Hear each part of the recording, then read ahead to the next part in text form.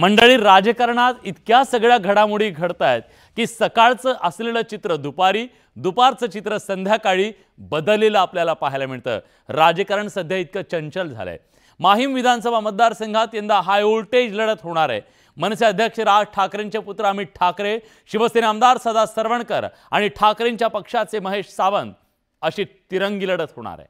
अशात अमित ठाकरेंना महायुतीनं पाठिंबा द्यावा अशी मागणी भाजप नेत्यांकडून केली जाते त्यावर आता महायुतीचे नेते काय आणि कसा निर्णय घेतात हे पाहणं औत्सुक्याचं ठरणार आहे.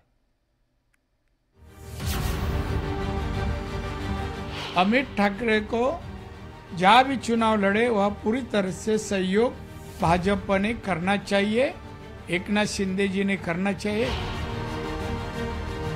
अशा नात्या गोत्यातील किंवा अशा नात्यातील आमच्या घरातील पहिलीच निवडणूक लढवणारा अमित ठाकरे असेल तर त्यांना समर्थन देण्याची भूमिका घेतली पाहिजे.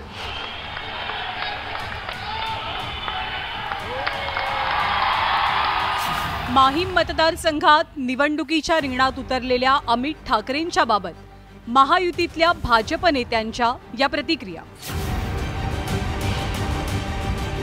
जिथे शिवसेनेचा जन्म झाला त्या दादरचा समावेश असलेल्या माहीम मतदारसंघातनं राज ठाकरेंचे पुत्र अमित ठाकरे निवडणूक लढवतात. या ठिकाणी शिवसेनेनं विद्यमान आमदार सदा सरवणकर यांना उमेदवारी सुद्धा जाहीर केली आहे. तर ठाकरेंच्या पक्षाकडनं विभाग अध्यक्ष महेश सावंत निवडणूक लढवतील. लोकसभेच्या निवडणुकीत राज ठाकरेंनी मोदींना पंतप्रधान करण्यासाठी महायुतीच्या उमेदवारांच्या प्रचारार्थ जाहीर सभा घेतल्या. याच पार्श्वभूमीवर नारायण राणेंनी आता महायुतीनं अमित ठाकरेंना पाठिंबा द्यावा अशी भूमिका मांडली. अमित ठाकरे को जहाँ भी चुनाव लड़े वह पूरी तरह से सहयोग भाजपा ने करना चाहिए एकनाथ शिंदे जी ने करना चाहिए ऐसा मुझे लगता है। लेकिन वहाँ से ऑलरेडी सदा सरवनकर का नाम अनाउंस हो चुका है माहिम सीट से। वो निर्णय सब लेंगे। एकनाथ शिंदे जी और देवेंद्र फडणवीस अपने नेताजन से सलाह मसलत करके निर्णय लेंगे। अमित ठाकरेंची उमेदवारी जाहीर झाल्यानंतर आशिष शेलार यांनी राज ठाकरेंची भेट घेत तब्बल तासभर चर्चा केली. आता अमित ठाकरेंबाबत नारायण राणेंनी मांडलेल्या भूमिकेची री आशिष शेलार उडतात उद्धवजींना अमित ठाकरे यांच्याबद्दल नातं वाटत नसेल पण महायुतीला मात्र अशा नात्या गोत्यातील किंवा अशा नात्यातील आमच्या घरातील पहिलीच निवडणूक लढवणारा अमित ठाकरे असेल तर त्यांना समर्थन देण्याची भूमिका घेतली पाहिजे. असं मला वाटतं सदा सरवणकरांच्या उमेदवाराला आमचा विरोध नाहीच आहे ना. ते महायुतीचे उमेदवार आहेत पण महायुती म्हणून निर्णय करावा हे माझं. जवळपास अडीच वर्षापूर्वी शिवसेनेत बंड झाला. या बंडावेळी सदा सरवणकरांनी एकनाथ शिंदेना भक्कम साथ दिली. आणि याच बाबीकडे शिवसेना नेत्यांनीही लक्ष वेधलंय. आणि ज्यांनी शिंदे साहेबांना पहिल्या दिवसापासून साथ दिली त्या सदा सरवणकरांना तिकीट जाहीर करणं किंवा तिकीट देणं हे काही चुकीचं आहे असं मला वाटत वाटत नाही. परंतु या संदर्भातला निर्णय कसा घ्यायचा काय घ्यायचा हे स्वतः एकनाथ शिंदे साहेब ठरवतात. एकनाथ शिंदे साहेबांना हे सगळे आम्ही अधिकार दिलेले आहेत. तर मला असं वाटतं की एकनाथ शिंदे साहेब याच्याबद्दलचा योग्य तो निर्णय घेतील. राज ठाकरेंचे महायुतीच्या नेत्यांसोबत असलेले उत्तम संबंध लोकसभा निवडणुकीत राज ठाकरेंनी युतीला दिलेला पाठिंबा या पार्श्वभूमीवर महायुतीकडनं राजपुत्राचा विधानसभेचा मार्ग प्रशस्त होणार का याकडे आता लक्ष लागून आहे. Bureau report news eighteen Lokmat.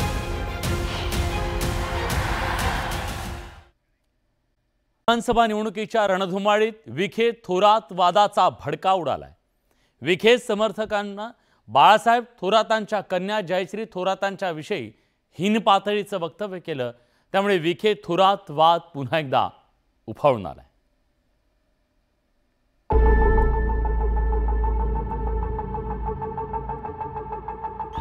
अरे तुला सुद्धा तुला सुद्धा प्रश्न आहे. नाहीतर मग आम्ही इलेक्शन काळात मैदानात उतरलो तर तुमची मुलगी घराच्या बाहेर पडू शकणार नाही.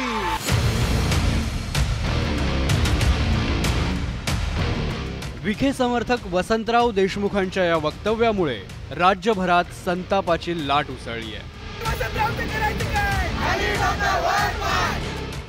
शुक्रवारी संगमनेरच्या धांदरफळ गावात भाजपचे माजी खासदार सुजय विखेंच्या सभेत देशमुखांनी अत्यंत खालच्या पातळीवर जाऊन वक्तव्य केलं.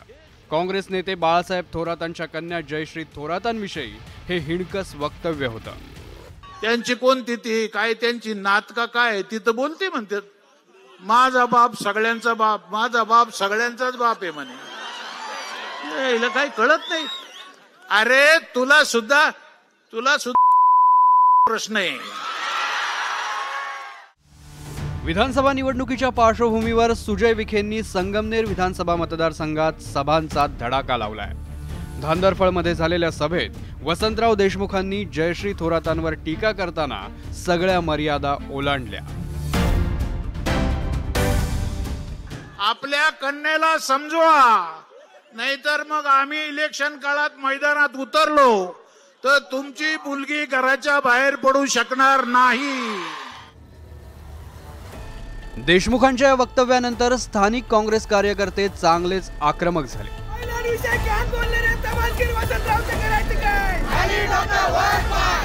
त्यांनी सभास्थळी ठिय्या आंदोलन सुरू केलं आणि बघता बघता वातावरण तणावपूर्ण बनलं. दरम्यान अकोले नाका परिसरात काही वाहनांची जाळपोळही करण्यात आली. तर इकडे संगमनेरमध्येही त्या वक्तव्याचे तीव्र पडसाद उमटले. शुक्रवारी रात्री दहा वाजल्यापासून काँग्रेस नेत्या जयश्री थोरात डॉक्टर सुधीर तांबे दुर्गा तांबे यांच्यासह शेकडो कार्यकर्ते संगमनेर तालुका पोलीस ठाण्यासमोर ठाण मांडून बसले होते. या प्रकरणी गुन्हा नोंदवल्यानंतर त्यांनी ठिय्या आंदोलन मागे घेतलं. मी रात्री दहा वाजल्यापासून सकाळी सहा वाजेपर्यंत सर्वजण पोलीस स्टेशनला थांबलेलं होतं. म्हणजे आम्ही आठ तास पोलीस स्टेशनला जर मला थांबावं लागत असेल म्हणजे किती त्यांच्यावरती दबाव असणार आहे? कोण हा दबाव करतंय? का बरं ह्या लोकांना वाचवण्याचा प्रयत्न केला जातोय? अतिशय वाईट सगळ्या सभेमध्ये बोलायला सुरुवात केली. आणि त्यामुळं काय वक्त्यांकडे कुणाकडे माईक आलं तर काही बोलतात. आणि खुशाल सगळे हसतात स्टेजवर. का कुणाला आई नाही का कुणाला बहीण नाही आहे का? इतक्या वाईट खालच्या पातळीवर बोलतात. एकीकडे थोरातांनी आक्रमक पवित्रा घेतलाय. तर दुसरीकडे विखेंनीही जशास तसं प्रत्युत्तर देण्याचा इशारा दिला सुजयचा जीव घेणं हल्ला त्याचा अपूर्व नियोजित कट होता. निश्चित राजकारण करताना एवढ्या खालच्या पातळीला कोणी जाऊ नये अशा पद्धतीचं राजकारण करू नये.